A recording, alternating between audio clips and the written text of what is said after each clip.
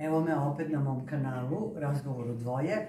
Danas sam dovela jednu izuzetnu osobu, prvo ćete vidjeti koliko je ona lepa i koja će nam pričati malo o svemu ovom što se dešava, najnovije vesti, da li je to tako ili nije tako. Ružica Kralj je moj gost danas i vaš naravno. Dobar dan i hvala na pozivu i veoma sam počastvovana da dođem da gostujem kod vas. Ružice, ajde da krenemo od ovog najaktuelnijeg. Čitam u novinama da se Haris Đinović i Melina razvode. Da li će to stvarno biti tako ili je to samo To neka bezvezna stvarni razvod i ja smatram da, što sad da možda će se muškarci naći uređeni, ali ja sam vrlo direktna i iskrena. To znam, to Ne i može, ne može muškarac koji ženi toliko mlađu ženu da očekuje da će ostati u braku do kraja života, jer to je ogromna razlika u godinama. I u bilo kom smeru, da li muško-ženskom, sve preko 10 godina uvek je taj rizik, a pogotovo kod muškarca. Muškarac kako stari negdje gubi interesovanje, gubi volju, gubi smisao za ljubav, za emocije. A Melina je jedna vrlo jaka žena, jaka ličnost, energična. I negdje sam ja i pretpostavila da će doći do tog razvoda. Ja mislim da je ono što novu ljubav. Misliš? Ja. 100%. Da se već zaljubila. A da li je i Karleuša našla novu ljubav? Da li će se oni razvesti? Meni sve nešto miriše da se oni neće uopšte razići. Ja tvrdim da će se oni razvesti. Karleuša je jako emotivna osoba, ima jako velike emocije, ali ima i problem s tim kako da prekine nešto što dugo traje. A pogotovo taj brak koji je vezan za decu, za porodicu, za kuću, ona negdje po svaku cijenu čak i hoće taj brak da održi zato što smatra da treba deca da budu u toj harmoniji. Ali moje viđenje taj brak je već završen. Tako da Duško neće prići preko nekih stvari, neće oprostiti tako neke stvari. Karleuša treba se okrene sebi, jer ona je žena koja uvijek može svuda. Njoj nije problem to, znači nju će svako doženi, ali njoj je teško naći srodnu dušu, jer ona traži srodnu dušu, traži tu harmoniju, traži tu ljubav, to nešto duboko što teško će ona naći. A što to je imalo sa njim. Pa to je neke imala je, ali je više, čak šta više, iako je sama rekla da je negdje, da ona njega voli, ja smatram da se ona više dala u tom braku nego on. On je negdje dosta ovako čovjek koji ne ume da pruži emocije, on možda voli na neki svoj poseban način, ali ne ono da pruži, pruži te emocije koje njoj trebaju. Njoj trebaju su neki vatreni znak, ali pošto ona vatra u horoskopu, ali sa vatrom može, kako kažu vatra, Čekaj, koji ona znak? Ona je lav, A, lav, da. lav brak. I emocija, kuća, porodice i teško pristaje na razvoj. I teško je, no, taj razvoj pada uopšte na njenoj duši sve to. Onda taj brak po meni ove godine se završava. Iako svi kažu da ne, ja smatram da je to gotovo. i Da je Ja sam isto mislila da se neće završiti. I mislim da će ona za jedno dve godine, to je godine i po dana najkasnije, naći srodnu dušu čovjeka iz inostranstva koji će biti isto jako bogat, imućan, i koji će Možda još svoj biznis. Pa čak i bogat. Ja, Pa ja sam kad sam to rekla, kad se ona razvila od Karića, da se ne sekiram, da će brzo naći nekog sporticu, tako je sigurno Blago njemu. za dušku. Tako da će se opet udati naći srodnu dušu. Ali kad ovo treba mnogo da se okrene duhovnosti, da radi na sebi, da neke stvari malo drugačije e, gleda, mada ona ima neki svoj stil, ja poštujem to svako bira neki svoj put, neka odluči šta je neko, nisam nju. A šta je sa Severinom što je izgubila starateljstvo na E, djetetom? Severina je bik u horoskopu, ona je jedna žena, da, bik, škorpija, koliko se ne Ko ja, isto ko ja. pratila njen horoskop i njen horoskop je jako težak, pun je nekih čorova. Tu je karmički duh kroz porodicu, kuću, kako da zadrži brak, kako da zadrži decu. Njoj je to sve mnogo teško. To, to je lekcija i neki zadaci na životu kroz tu porodicu. Ali ja smatram da će ono dete povratiti da će ona dobiti to nazad. Jer sad je Jupiter u biku, od 21. januara do 26. juna, tako da će taj Jupiter sa njoj donosi sreću, da će biti na njenoj strani i ona će raditi dete negdje da pripada obostrano i njoj i, i Milanu. Mislim da je to više njegov hir i teranji nata da bi joj negdje ovaj, napravio neku, ne da kažem neku pakost, nego ne želi da je da do znanja da ona može da bude pobjednik. On ima tu potrebu da on pobedi. Ali čudi me, pošto se to sve dešava u Hrvatskoj. Pa Ipak je to je, njeno ovaj, pa zato što je danas novac, sve završava. Aha, novac Ja mislim da je sve novac u pitanju, da nema tu veze toliko. On opet čovjek ima decu i zašto bi on jednoj ženi jedno dete toliko uskratio da sad to dete opet pripada njemu. Dete treba da bude sa majkom. Tako, Kako god da je majka, da. pogotovo do nekog tog puberteta. Znači, ona će vratiti to. Ona će povratiti svoje Divno, dete. divno, I svi će divno. biti na njenoj strani. Čak što Pa vidim da su i sad. I on biti optužen zbog svega toga. Jer ne treba da se svetite partneru zbog deteta, jer detetu najviše strada. Ne, Preko, Ne da, preko To je tako ružno, ružno što on radi. Mislim, to očekivalo od njega da on vaga, on je negdje miroljubiv, ali je dosta čutovog zatvorenje. On je uvek pun novih eh, planova, ideja i nikad ne znate šta Evo, ti su najgori, ti što čuti, ti su najgori. Oni kad Oni puknu, kad to je urade nešto, gotovo. oni da. urade sve to da, vas, da ne znate gdje se nalazite više od njih. Ali ipak, ja mislim da je Bog na sve strane ove godine će dobiti dete. Ajde da te pitam sada za ovog malog, ovaj Kecmanović, što je, šta se, pošto je sad Kako je to- aktuelno suđenje Kako baš je to ovih teška dana. sudbina kad ljudi kažu da onako dete koje ima anđelsko lice, anđelski pogled, da može da bude ubica. Ja smatram da na ovoj zemlji od te 2012. do 2025. stvarno vladaju te sile zla i demonske sile koje su toliko jake i prisutne ovde i da je mali za posebnost duhovna i demonica. To nije on, on ne voda sobom. Kad to nekom kaže, to ne kažu, Bože šta lupaš, gluposti, kakvi duhovi demoni. Ali to dete ne vlada sobom, to su druge sile koje vladaju s njim. I on nije uopšte po meni svestan ni šta je uradio, ni zašto je to tako bilo. Negde to suđenje se neće tako brzo završiti, ali nema tu kraja još i nikako ne može da tu misteriju sad kao otac kriva, da, majka kriva, ne smatram Ja da su ni da roditelji nisu oni, uopšte krivi. Što tu mogu, nisu oni bili u njegovom mozgu u tom trenutku Da. kad je on tako nešto uradio. To je negde neka jača sila i to su neki demoni. Tu mali treba da se duhovno razrešava tih nekih negativnih stvari, negativnih informacija, da se leči duhovno, ne samo raznim bromozepanima i lekovima gde ga uspavljaju, Da. dete nije svesno gde se nalazi. Strašno. Ajde pređemo na malo veselije teme. Reality me interesuje. Miljana je opet upala u krevet ovome bebici. Pa, Znači, Miljana je ne, prosto ne uništila. Ona je žena koja će uvijek živjeti u jednoj dvojci, ona je vaga. Ona voli da živi postruka, voli taj život, voli izazove. Njoj je dosadno sve što je jednostavno njoj je to i dosadno. Ona voli malo i te neke neobične situacije, izazove, ekscentrične.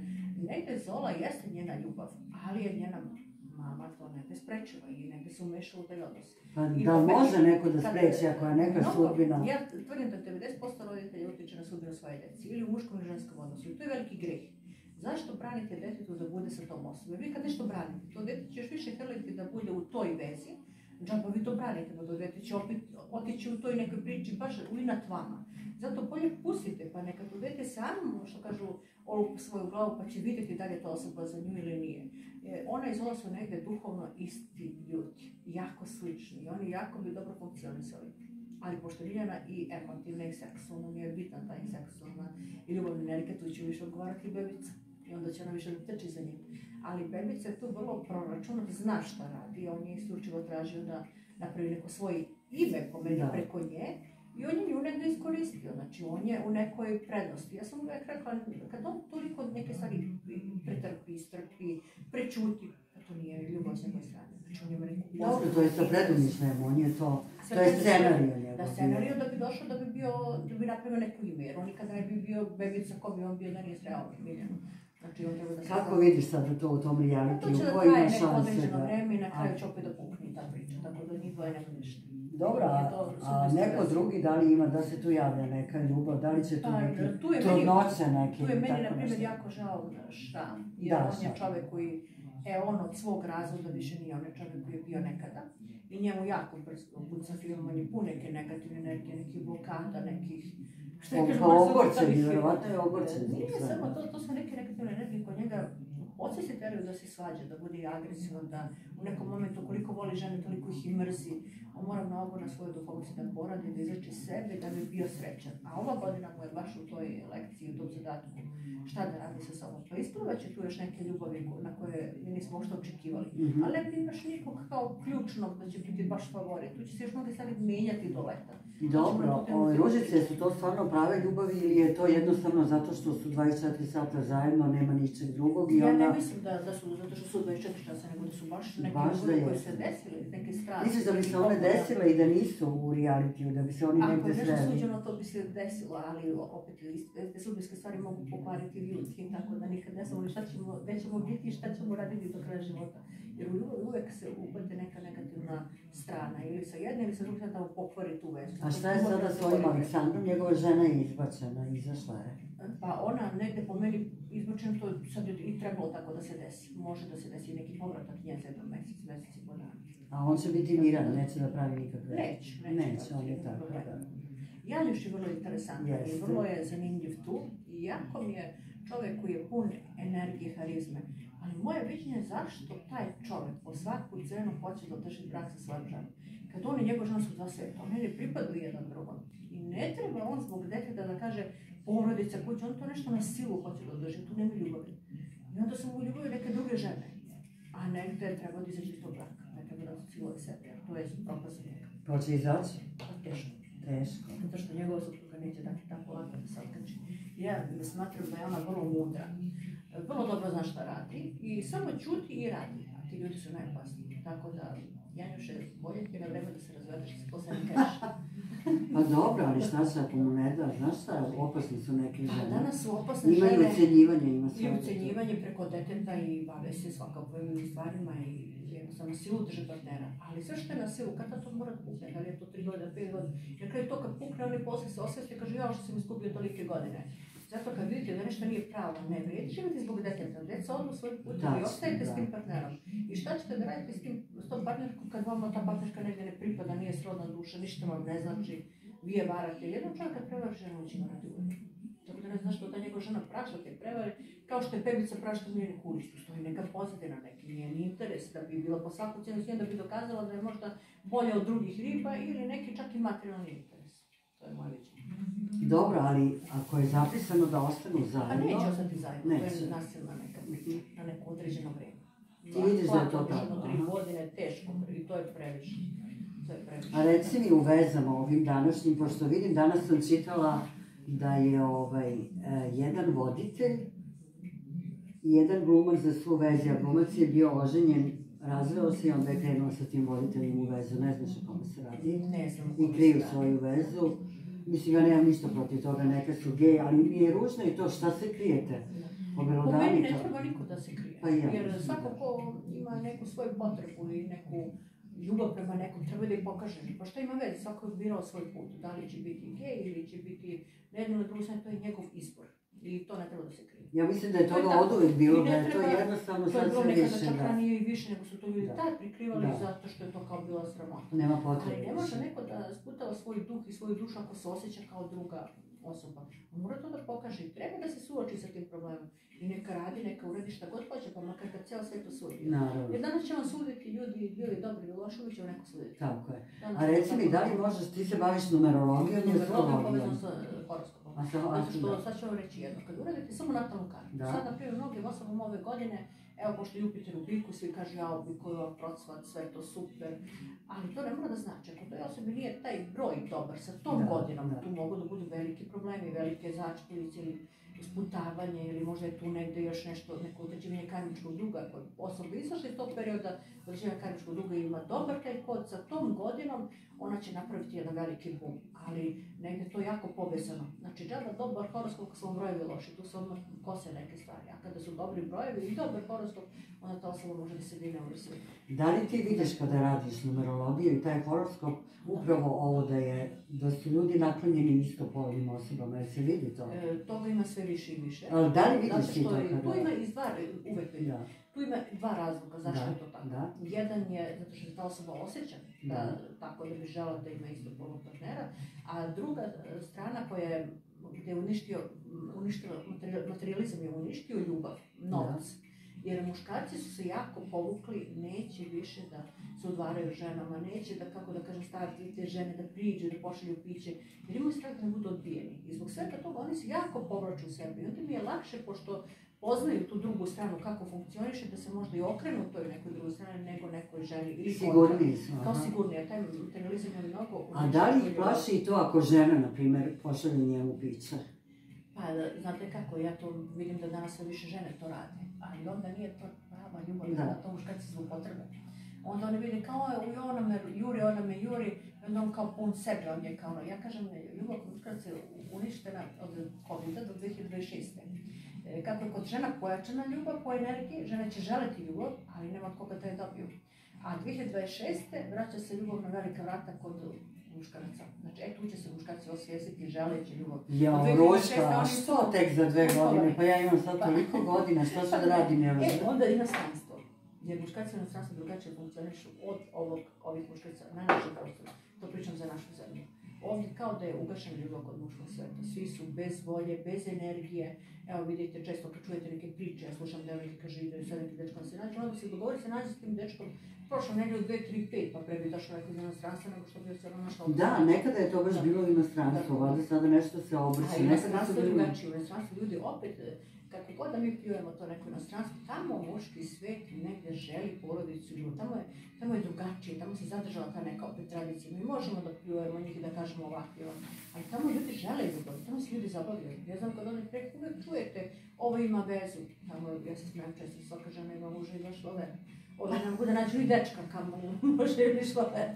Dobro, ove Ovde- slobodne ne mogu možda Da, odudati ih da, da da. nađu frajera, I šta pošto je ovdje udete veliki imaju. problem tog, tog um, izgleda vizualnog? Da. Ovdje su svi zaljubljeni sebe. Svi rade, ja smatram da treba svi da radimo sebi, i ja radim i svako, da lepo izgleda, ali to samo ljubi onda posle dođe do na, na ta neka velika vrata. Na onda svi kao ja sam lep, zgodan, ma šta će meni neko ili kontra žena to kaže. Znači, negde taj e, isfeminiziran taj svijet, to neko novo doba u ništvo, došla ta ljubav. Bolje da su ljudi bili onako što bi rekli ljudi kao neke drvoseče, neko ovi sad novo komponovani, ovdje sad malo ljubavi ima sa novo komponovanim ljudima. Dobro, ali zar ne, ne vidiš da i muškarci su sve isti, svi su onako kockasti. Pa svi su, je zato što svi koriste e, raznih, razne vrste hemija, steroide, treniraju. Oni su opterećeni teretano. A to utječe na potenciju, koliko sam ja čula, da se smanjuje, jel da? Ali e, određen period se pojačava potencija, pa su oni kao ludaci opsednuti seksom, mislim. Tim posle u jednom periodu problem smanjenja te potencije. I onda svi misle da su, ako uradi mišiće, sad ja sam frajer, ko sad svaka žena treba da juri meni. Ili žena ako uradi grud ili nešto, može sad da ima, i treba da me jure. Ne treba niko nikom da juri, sve treba da se dešava spontano. A ne ono sad kao ja, ja sam frajer, noću mene da juri, ja sam tu bitan, važan, ovo ono. E tu su muškarci mnogo okrenuli se sebi, postali narcisi i postali narcisi, narcisoidni manipulatori. I onda manipulišu sa ženskim svetom, onda kao on tamo ovaj nekih pet žena i sve one kao zvu, wow, kako on lepo izgleda, on je frajer, on je šmekana, a on u stvari jedna prazna ličnost i to su uglavnom muškarci koji su lenji, koji su okrenuli naglo sportu i tom fitnessu, koji su velike lenjištine, to mogu javno da kažem, muškarci koji su ovaj, muške kurve, što ti je rekao, žele da se udaju za neku ženu. Oni tako toliko rade na sebi da bi neka žena odlepila, da bi ga možda sutra izdržavala. Ali danas žene nisu glupe kao nekada, nekada su to žene pristajale. Znači nisu samo žene te koje jure da bi Ne, pa verujte, ovako, opet su žene jednostavnije. I ja smatram da su žene vrlo normalne i normalnije. Za razliku od ovih žena koje striktno jure partnere samo kroz novac. To je već nešto drugo, one traže samo materijalno. To je jedan određen pro- procenat. Sve ove druge žene su vrlo na zemlji za muškaraca. Muškarci mnogi nisu na zemlji, oni su poletali u nebo, mjesto da se mišićima se da, da reši. A mišići kad nema para, ljubav ode. Niko neće jesti neće mišiće. to je glupost, tako da su mnogo u zabludi da mišići nešto donosi, nešto menjaju. Niko neće cijel dan se divi nekom. Znači tu treba neka duhovnost, treba srodna duša. Treba da popijete kafu sa nekom osmom, da imate isto interesovanja, da sličan se sličnom ra- raduje, kad kažu suprotnosti privlače. Ne, suprotnosti privlače trenutno seksualno zbog te energije, jer obično takvi parovi se seksualno pronađu i onda kažu suprotno, ali onda se poubijaju, nikako ne mogu zajedno. Znači, ljudi koji su slični mogu da opstanu u braku. Sve suprotnosti kad tad pucaju. To su karmičke veze, gde su suprotnosti. To je određivanje nekog karmičkog duga koji traje 3 do 5 godina i vi onda nađete se nekoj vezi, ne možete da izađete od te osobe, jer vas privlači nenormalno, emotivno, kao seksualno. A vi ne znate I ne možete. Da. I onda ta energija vas vuče da neki začarani krug dok ne odradite nešto svoje i kad Bog kaže dosta će određenje. Svako svoj, svako da li su devojke ipak još uvek te koje gledaju i novac samo, i kola, i... određene devojke gledaju samo novac, ali ja se često pitam da li one razmišljaju o nekoj budućnosti. Kad taj čovjek još malo, na ostari ili negde bude sutra nemoćan ili ima zdravljem, kako će on ostati sa tim muškarcima? Njima je trenutno sve instant. Oni hoće na brzinu da dobiju ono što hoće, neki auto, neki Rolex, da urade neku plaćenu operaciju i misle da su srećne. Ali to je zabluda, tu automatski prodajete dušu đavovu. Kroz taj novac i upadate u takvu neku negativnu energiju da za par godina imate živcima. Ali Ružice, kako da se devojke oslobode toga kada pogledaju u medijima svuda, samo piše lepota kako treba da se izgleda, Pa, šta da se nosi. jeste važna i lepotu treba održavati, da svako pristojno izgleda za neke svoje godine. Ne mogu ja sa 50 izgledati kao neko od 20, ali za svoje godine da izgledam pristojno i lepo. Ali negde, ne, nije, niko nije dužan da plaća moju lepotu. Znači, da dođe žena i kaže, pa ja sam lepa, kaže, on mora da me gleda kao Boga, ja sam lepa. Ali on nije dužan da plaća tvoju lepotu zato što si ti lepa. Zašto bi on plaćao to što si ti lepa? Pa ti si lepa prvenstveno zbog sebe. Da. Jer svaka žena treba da se ulepša zbog sebe. da bude zadovoljna svojim izgledom, da kaže ja sam srećna sada što mogu nešto da obučem, mogu ovo, mogu... A ne da bi sad tamo nekom naplaćila to što je ona lepa. Pa danas ima lepih lutki pun grad, pa na kraju svaka lutka dosadi kao gledate lepu sliku svaki dan, sve to dosadi. Ti si često u inostranstvu, da li su devojke tamo toliko opterećene Izgledom nisu izgledom kao ove naše? Ja sam često baš i šokirana još kad odem gore Austrija, Nemačka, koliko su naše žene čak i krupnije i onako kažem malo i deblje i nisu pretjerano našminkane, one su spontane žene. Ali one žive život i one žive, imaju ljubav. Za njih nije to presudno. Dok ovdje mora sve da bude pod kontrolom. Ali onda ovdje su same, žive sa sobom. Ali nisu ni one krive, mi, mi smo tako, energijom, jer naša zemlja je u Jarcu, tu je i Saturn. Mi uvijek imamo neko mučeništvo, nešto, to ne može da se promeni tako zemlja pod tim geografskim položajem. I tu nema neke promjene. Gore u Beču, na primjer Venera, tu je ljubav, tu možete naći ljubav. Čak i Nemačka, Minhen, Frank- Minhen, Frankfurt, to su gradovi gdje ima ljubavi puno. Gdje su ljudi zaljubljeni, se ljudi zabavljaju. Mhm. Ja sam puno mladih devojka upoznala koji su otišli gore da žive i stvarno su prezadovoljni. Gore i muškarci koji su stranci, Nemci, naši, uvek prilaze tim nekim ženama, a ovdje ne, ovdje od tog nekog narcisizma, koliko su svi zaljubljeni sebe, niko nikog ne gleda, niko nikog ne vidi. A onda dođu kući pati Dobro, ali ti muškarci gore imaju i neke manire, oni lepo prilaze devojkama, na da. ovdje muškarac prođe pored devojke i onda kaže, uh, ali si dobra, da ne kažem sada šta, ono prosto. Pa zato što, Što nikad ne bi jedan Kako je sada ovaj instant život? Ovdje samo gledaju ženu kao meso ili nešto trenutno za seks kao neki objekat. Ne žele da se ulože u tu neku ljubav i da kaže sad ću da se zabavljam za ženu. Nego odmah kao ajde kao da budemo nešto. A to je tako sve bez veze, onda brzo to sve i puca. A na času je drugačije. Na času drže do sebe i žele da imaju ljubav, žele zabavljati, žele porodicu tamo. Ima tih nekih tradicionalnih stvari koje su zadrž- zadržali još kod sebe. Kaže i kako vidiš kroz tu tvoju numerologiju vaspitanje dece, pošto ja vidim da deca u kolicima svi drže mobilne telefone, igraju igrice, da su naše majke totalno nezainteresovane ove mlade. Ja kažem, Nije mi jasno zašto uopšte rađaju onda decu. Ja smatram da se promenio odnos majki prema djeci od 1970. godine pa nadalje. Što se tu desilo? 70.? Od 1970. pa nadalje. Svakih 30 godina se mijenja taj neki kod i sve su majke, da kažem, više uništile tu svoju djecu svake godine. Jer znate šta rade tu? Kao, ajde ja ako nisam imala u svom periodu svog života nešto, moje dete će imati sve. Ako ja nisam mogla kao dete, da imam moje dete će, onda toliko pruže tom detetu sve, i materijalno i sve, a ne ide telefon kao da ne Ali ne, a nema ljubavi, ono A nema ljubavi. da. I onda ne, ne bave se tom decom, nego im tako daju ne, nešto materijalno, ta deca su sutra izgubljene duše. Ne mogu da se pronađu. I negde to, moje dete mora da ima sve. Zašto mora da ima sve? Pa dete treba da čeka da dobije nešto, da zasluži da dobije nešto. Hoće se tu nešto promeniti. Od dece napravimo tako neku lenju decu, što bi rekli decu debile, koji nisu sutra sposobni da žive, koji ne znaju dakle da krenu, jer sve može da se završi danas, veza ovdje, veza ovdje, dete gurate negdje u nešto, i onda ta djeca su jako sutra nesrećne, podložna su raznim opijatima, jer ja gledam u pubertetu danas svi duvaju travu ili koriste one narkile, to je strašno. Ja znam, čak sam čula i majke koje kažu, ajde više nađi nekog da mi se skine sve grbače. I, i znazi čak nekog muškarca. žensku da što budu atraktivni i lepe, udaj se bogato. Da. Nije samo to dovoljno reći detetu udaj se bogato. Udaj se iz ljubavi. Kad imaš ljubav, to je dar od Boga. A udaj se bogato, šta to znači? To, to, to nije ljubav.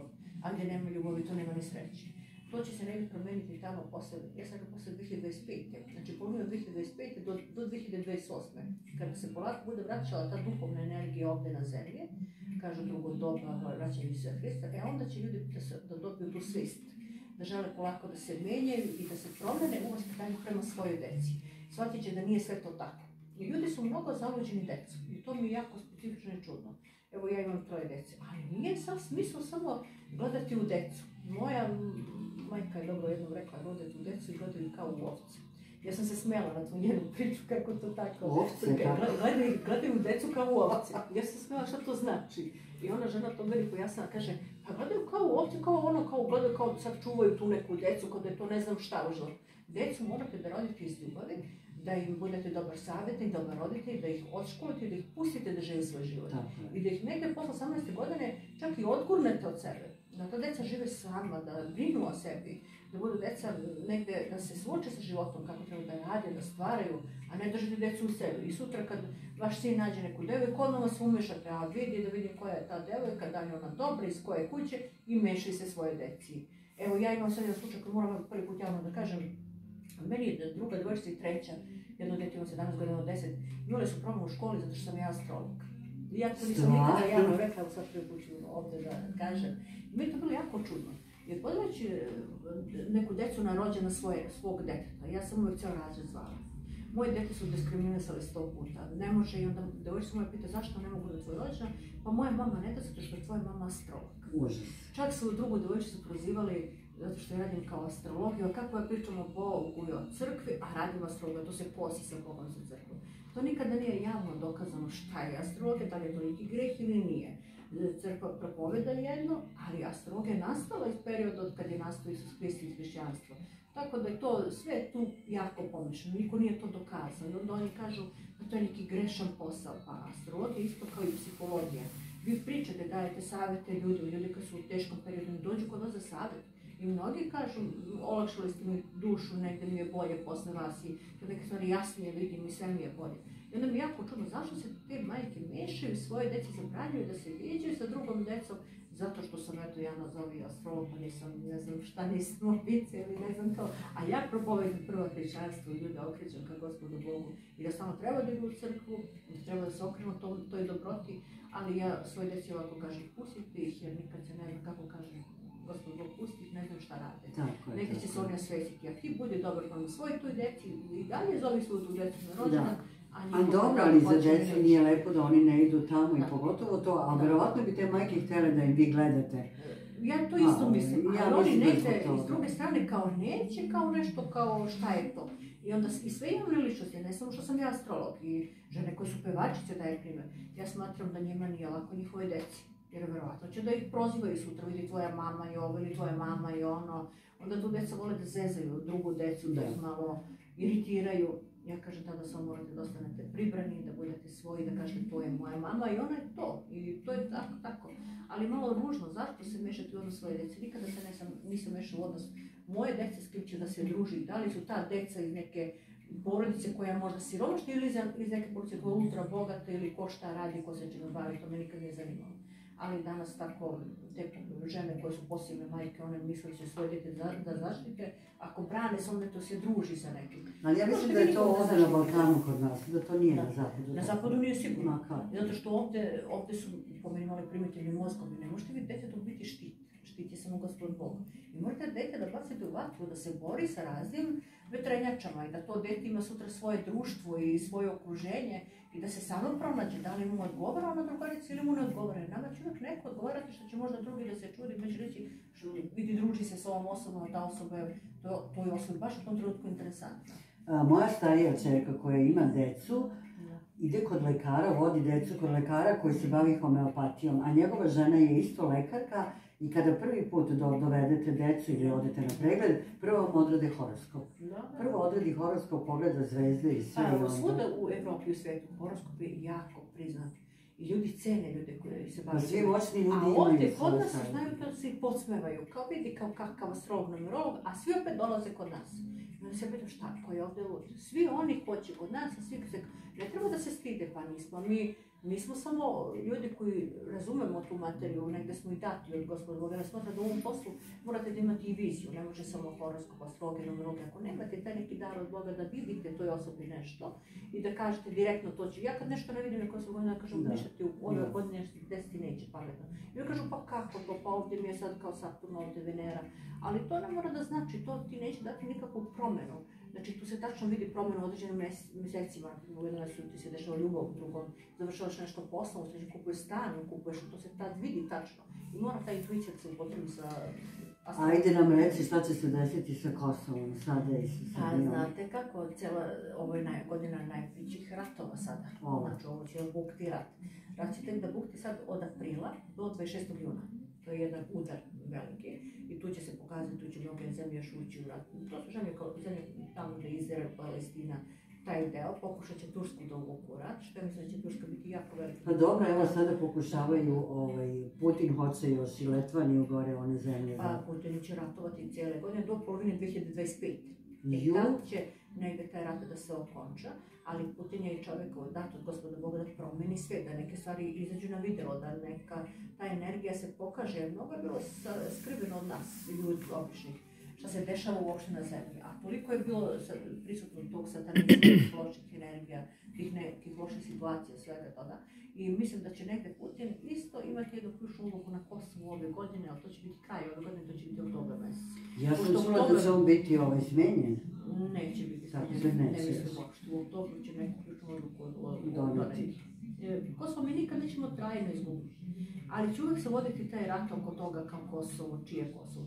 Kosovo kao Kosovo je tlo koje koriste razne te svetske sile za kontrolu Balkana. To nema toliko veze sa Albancima i sa Srbima. To je samo marketinški trik, treba i branje para, a? I branje para. Jer po meni su sve podzemne stanice urađene kontroliše cijel Balkan i takva pozicija geografska. E onda oni sad kao Albanci i Srbi, oni na, naprave rat između Albanaca i Srba, a ja smatram da su Albanci jako kvalitetni ljudi, dobri ljudi kao što smo i mi. Naravno. U svakom narodu ima i dobrih i loših, ima i ovih i onih. Svuda ima izmješanih, ali ima i tu kvalitetnih ljudi. Onda politika napravi to, taj razvoj između ljudi, da se ljudi mrze, to nema potrebe. Ne, 2025, polovina 2025 i oko Kosova će se znati tačno šta je. Dobro, ali mi smo ovdje u Beogradu mirni. Mi jesmo. Mi jesmo, ne diramo Čak kao zemlja ove godine, kako će biti svuda tih ratova, ja kažem preko naše zemlje će samo malo proletati ti avioni te neke negativne stvari, a mi ćemo samo biti posmatrači. Mi nećemo imati takvi Neće nas kao što druge zemlje imati problem.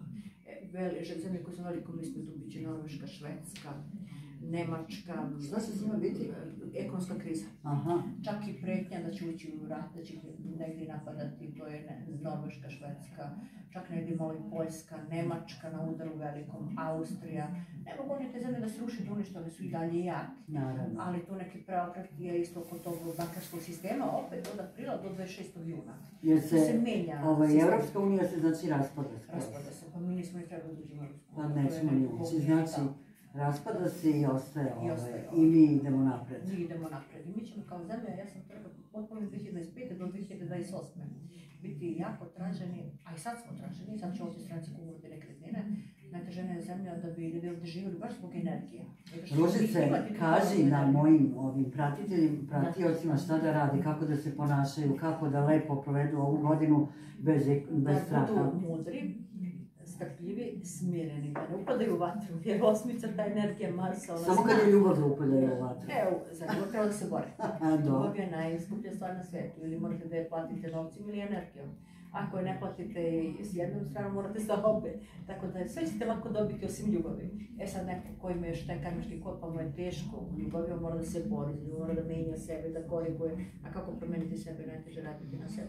Znači, hvala ti, mudri. hvala ti puno i reci gde mogu da te nađu ljudi, hvala dođu. Puno. Ja sam u U centru i tamo je agencija 063 1111 i jedinice 3753. Još jednom polako, molim te, brzo si rekla. 063 1 1-1-3753 i u biznis centru. Znači ljudi znaju da sam tamo i ljudima često i sretni i kažu biznis centru kao i mogu kod vas. Uvijek me pitaju neka pitanja, nisam ona žena koja naplaćuje svako pitanje. Ja čak noću od 11 do 3 odgovaram besplatno na sve, sva pitanja svih ljudi koji su nikada bili kod mene, prošlo ih je hiljade, hiljade. Ja nego treba nekog sati da ja to sve izodgovaram i tu nemam nikakav... Eto, pratio pratioci, mislim da je ovo bilo veoma poučno i da ste ovaj, naučili nešto i da ćete tek naučiti i da ćete dobiti dobre, dobre savete. Javite se Ružici kralj, kraljici, Hvala vam puno, kraljici. hvala puno na pozivu i veoma sam srećna što sam kod tebe jer ti si po meni divan čovjek. Hvala puno. Imaš dobru energiju i dobar si čovjek.